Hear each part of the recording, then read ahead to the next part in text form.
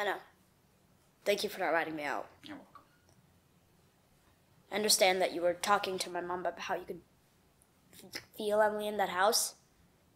I believe she's still there too. Why do you say that? I saw her You saw her? right after she died. It sounds crazy, I know. It's not. A lot of kids can see ghosts. They just lose the ability over time. Is that true? Really? How come you know so much about ghosts?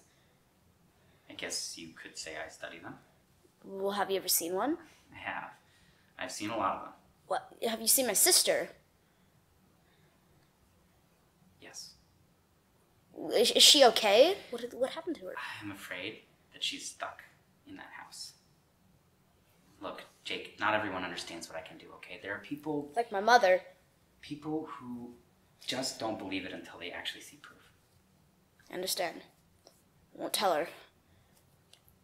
Can you help me speak to my sister? I can try. When can we go? The next time the house is free, you're gonna have to be patient. I have to tell her I'm sorry. I, I have to.